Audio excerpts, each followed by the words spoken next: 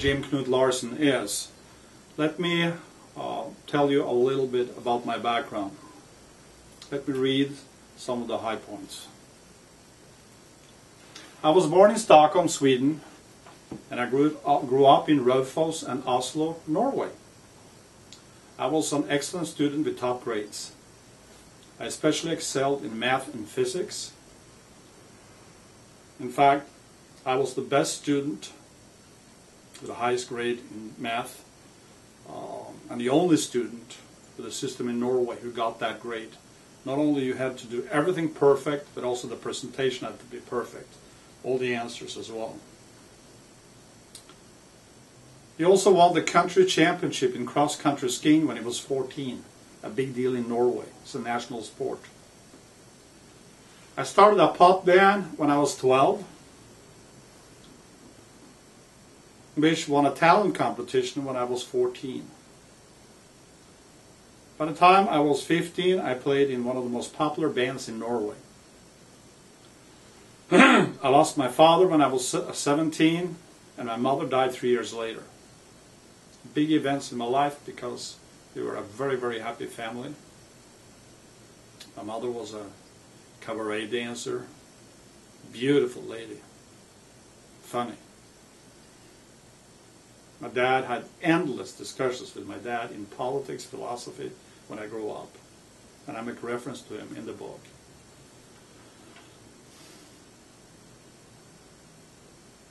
After high school, he went in for one year of military service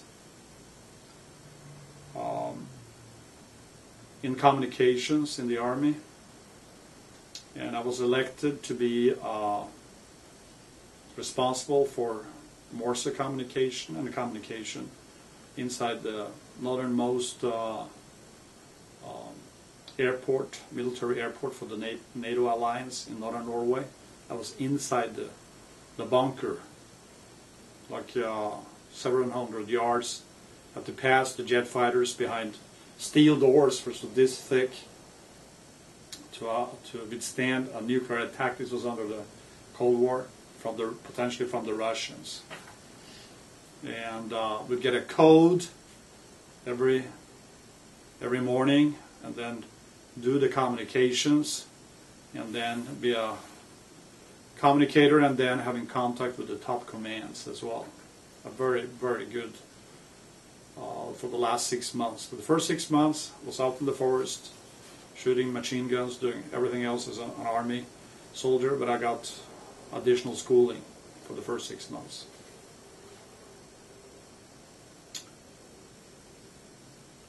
I earned my bachelor's degree in business in Norway as a top student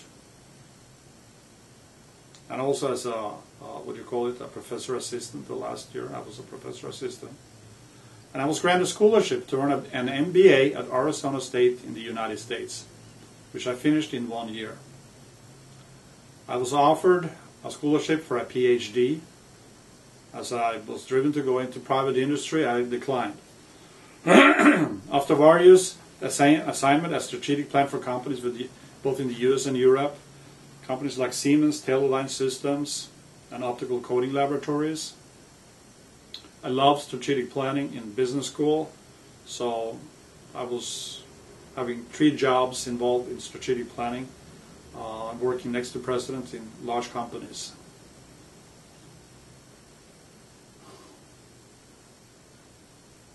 Then I founded Agloria Mande International in 1983 when I was 29 years old a cosmetic and image design company. Long story behind that, but that's what I did.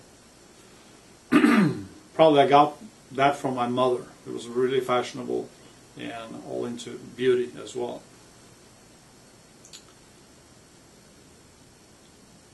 I pioneered color analysis and image design and grew the company into a million dollar business in nine countries. Very successful.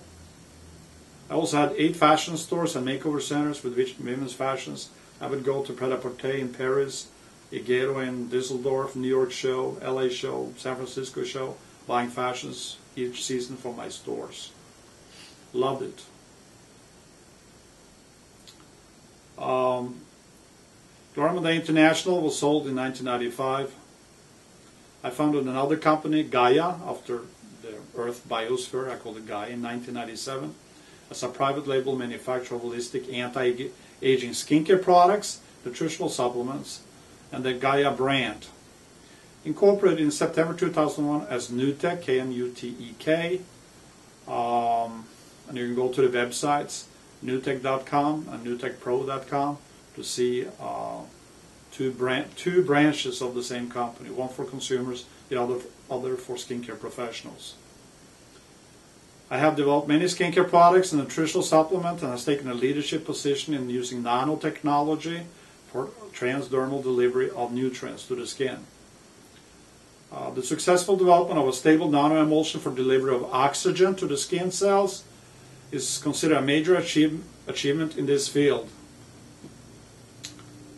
I was able to take something called blue blood in science, artificial uh, blood research, and use nanotechnology to create using that as the foundation for a skincare product which actually deliver oxygen to the deeper layers of the skin to the cell to the to actually to the to the uh, core of the cell and deliver mimics actually the blood's own hemoglobin with its ability to deliver oxygen to the cells which is a tremendous benefit for the skin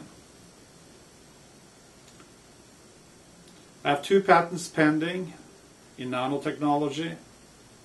Uh, the Knutek brand is currently sold through skincare salon, day spas, and clinics, both in the US and some overseas as well. We're a small manufacturer, but we've been experiencing quite a, quite a great growth lately. I'm an innovator of breakthrough products in cosmeceuticals and nutraceuticals, and a makeover artist. I'm a makeover artist as well. I'm the creator of Makology, the science of making and becoming. I'm also an award-winning educator in skincare, I make a makeover artist, and have starred in TV and radio infomercials and commercials. My grandfather, Joseph Larson, was a representative at the League of Nations, which is the precursor of the United Nations.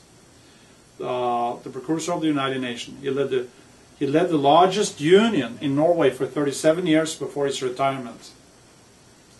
He also endured four years in Nazi concentration camps and is considered a national hero. In fact, the Norwegian government commissioned a book about his life, and uh, which was published on his 75th birthday. I'm, I'm his oldest grandson, and I would be there all the time, and we would discuss politics and philosophy um, for hours at a time. My father, Knut Larsson, fought the German occupa- occupants in, under World War II back in Norway, the German occupied Norway. He fought the occupants for three years as an insurgent in, uh, in Norway and was later trained in Scotland, Scotland as a Spitfire pilot in 1945. He became the president of Luma Inc. by the time he was 44, my father did, but died three years later. My dad also was a colonel in the, in the Norwegian Air Force Reserves by the time he died. I have a, I have a daughter, a granddaughter, and as I speak, I have another granddaughter on, it, on its way, going to be born in October 2011. And I have a sister and a brother with their children, all living in Norway. I live in Berkeley, California. I hope I wasn't bragging too much, but I wanted to give you some of my background, and I think I'm uniquely qualified to have written this book and to be on this mission. Find the truth in my book, The Human Pathway.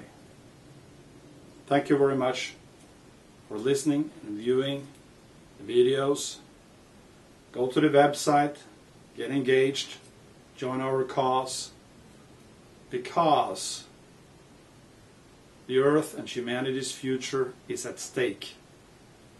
The, what happens today, we are definitely driving the earth and humanity into the ditch.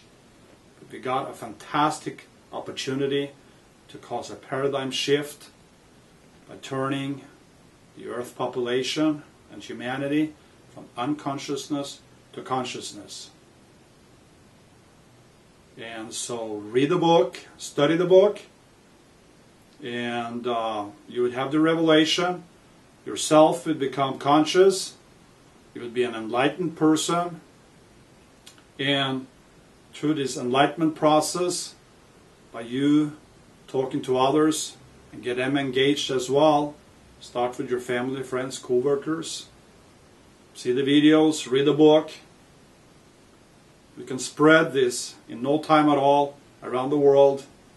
And uh, we would cause a paradigm shift for humanity. And we would have created a brilliant destiny. Because, as Jesus said, God is within you. When He's found,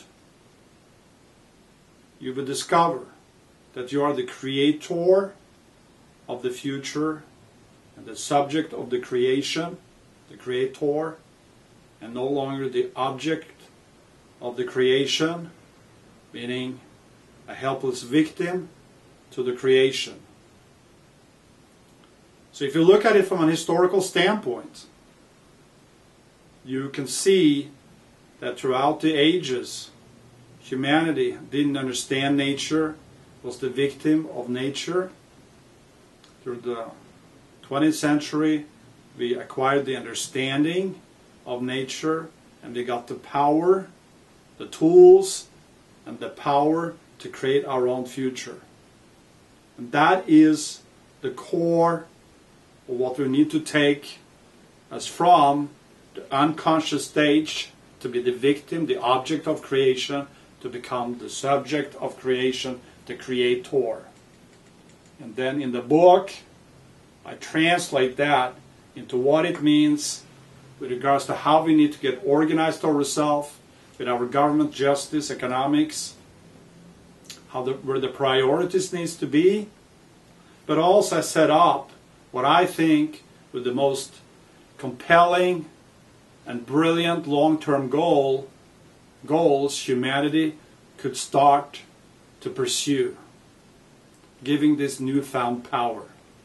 Thank you very much for listening and for viewing the videos. I thank you for buying the book, and I thank you for spreading the word about this enlightenment. Thank you very much. All the best from my heart. Thank you.